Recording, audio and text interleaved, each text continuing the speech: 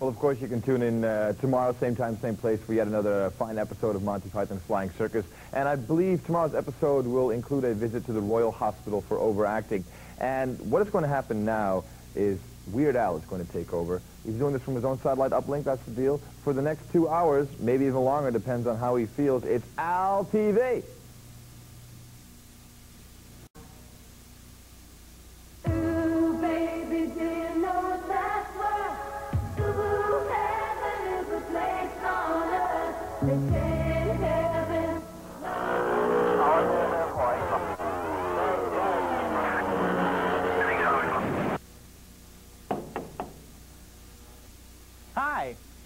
Here.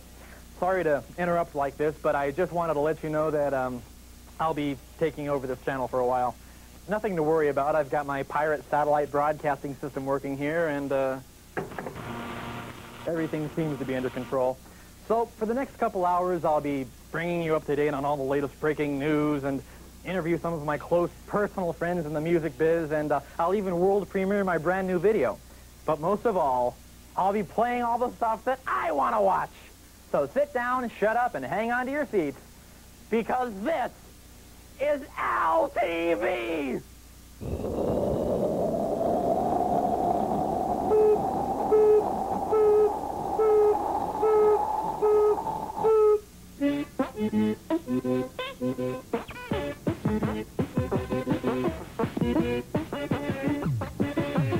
Al TV, the channel that plays music videos until I get tired and decide to stop. To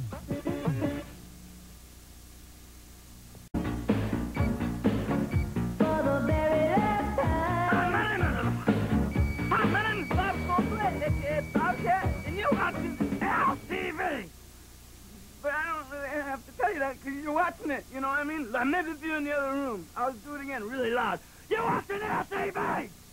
We'll be right back after this word, word, word. Quickly.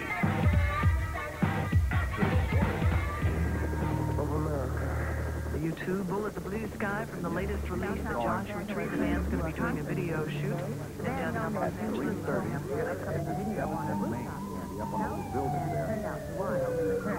We would have to go on what's called a tactical alert to get this problem solved. We're not going to do that.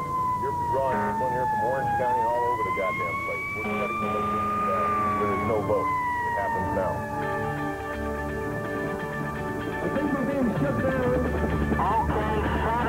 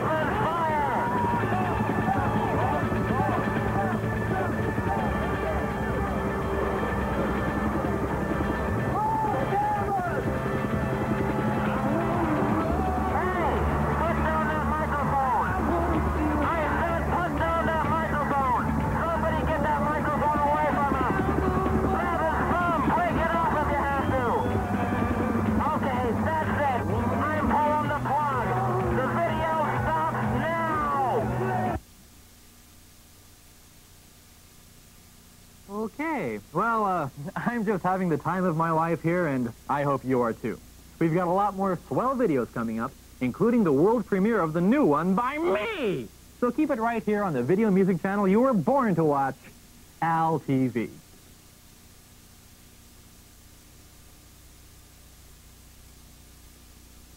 Um, while you're waiting, why not pop out to the kitchen for a little nutrition break?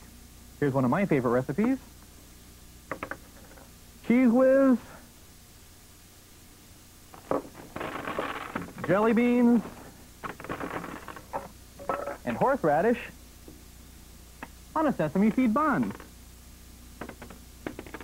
Mm-mm-mm. We'll be right back.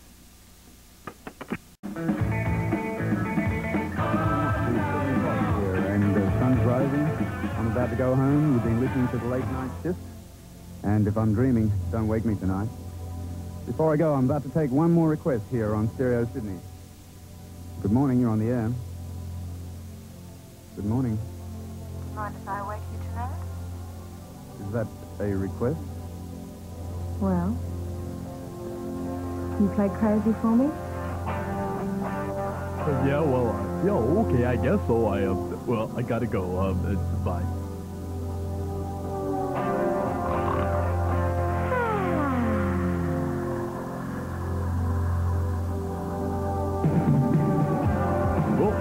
Put on my Stevie Ray Vaughan hat and I'll leave the station right now. Yep, I'm gonna leave right now. I'm gonna drive in my big old car because I'm a big old DJ driving a big car.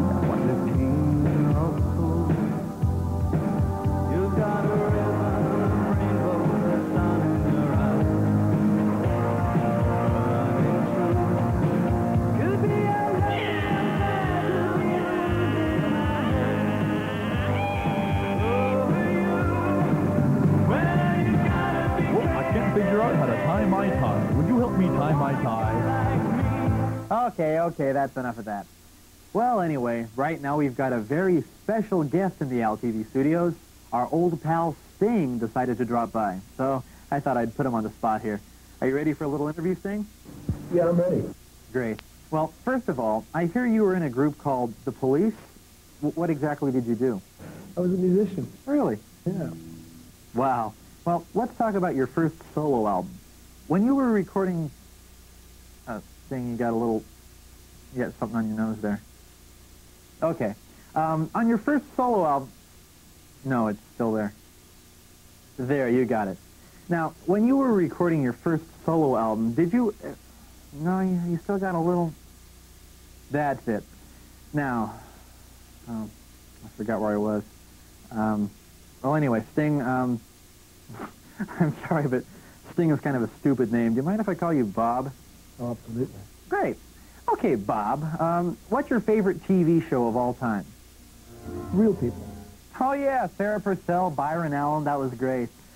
Say, how do you feel when people come up to you on the street and rub dog food in your face? I find that very upsetting, actually. How about if they put a paper bag over your head and forced you to bark like a chicken? I don't respond to that very well at all. Well, no wonder everyone thinks you're such a stick in the mud. Well, they think of me as a serious person, but I'm hilarious sometimes, you know. Oh, really? Well, let's see the funniest face you can make. Hey, that's pretty good. Now let's play Simon Says, okay? Simon Says, clean the wax out of your ears. Simon Says, do this. Good. Now pick your nose and wipe it in your hair. Ah, I didn't say Simon Says. now, you were involved with Live Aid. Uh, That, that must have been an incredibly spiritual experience. I can't even imagine it. After the show was over, what did everybody do? Start flicking each other's private parts with towels.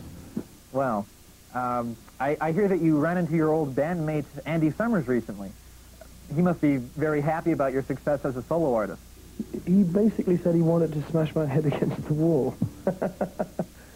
Do you remember what it was like when you were an embryo? It seems like a lifetime ago. How do you feel about flossing your teeth? It's what I enjoy doing. It's, it's what I wake up and look forward to doing.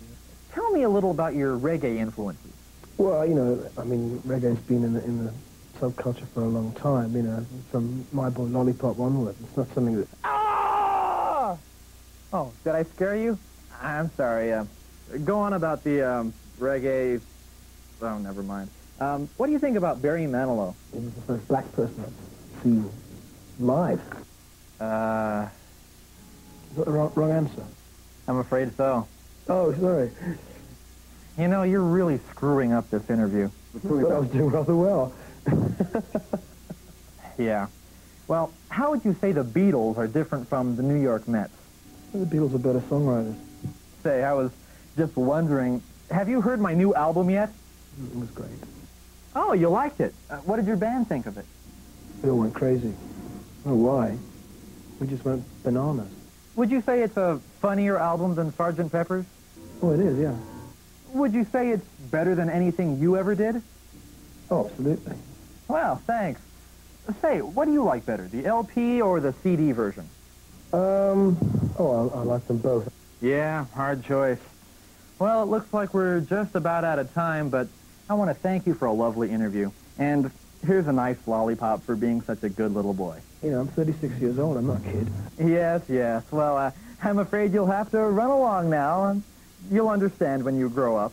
But I am grown up. Come on, Bob. We got to get on with the show.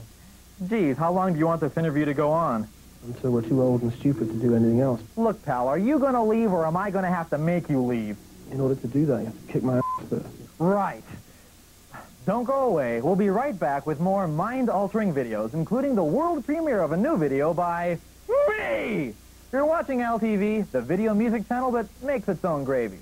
All right, pal, let's go right here. Come on, let's go. Come on. Oh, oh, oh, Elvis! Like it, man. From out of this world comes the Sky High Combination Sweatband and Solar Powered Blender. It's so advanced it doesn't use batteries or electricity. It gets its power from the sun. And it's a great looking sweatband. Use your solar blender day or night, indoors or outdoors, all year round, without disturbing others. You'll never have to drag those long extension cords across the beach again. The secret is these scientifically designed solar cells. They're so power sensitive that even when the sun isn't shining, a light bulb will charge your sky high for hours. You'll never buy another battery again. And now for the astounding feature 21, you won't look like a jerk. We promise. The Sky High Combination Sweatband and Solar Powered Blender. At $49.95, it's a bit overpriced, but life is short. You're going to be dead someday. And what are you going to do with all your money? So order now, because they're going fast.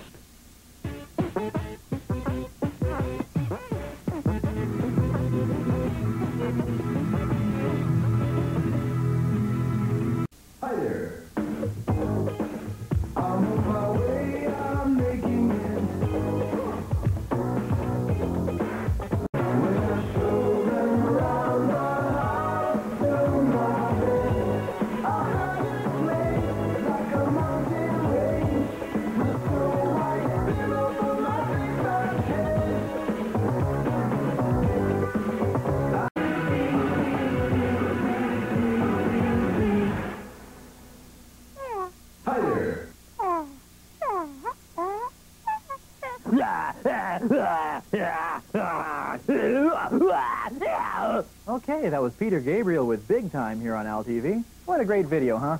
Boy, it must have taken him hours to do that. Well, right now it's time to announce another fabulous Al TV contest. In the past, we've had contests where the winners could be a roadie for Al or even mow Al's lawn. But I think this is the biggest contest of them all. If your name is drawn from our giant contest drum next week, you and a friend could spend a weekend at Al's house. Just imagine the thrill of a lifetime of spending two days and three nights at the Yankland Estates. You and a friend will fly at your own expense to Los Angeles, where I'll pick you up at the airport. Then it's a whirlwind tour of Yankland, including a stop at my refrigerator, where you'll be able to make yourselves a snack. And then settle in for two full days of watching color TV. Remember, I've got cable. And on top of it all, each of you will be allowed to ask me one question. When can I go home? Where's my wallet? Sounds like a dream come true, doesn't it? Well, get those cards and letters coming in, and don't forget, next week it's our big Ticket to the Tunnel promotion, where you and a friend could win an all-expenses-paid trip to the fabulous Lincoln Tunnel. So keep it right here on the video music channel you can watch with no money down, Al TV.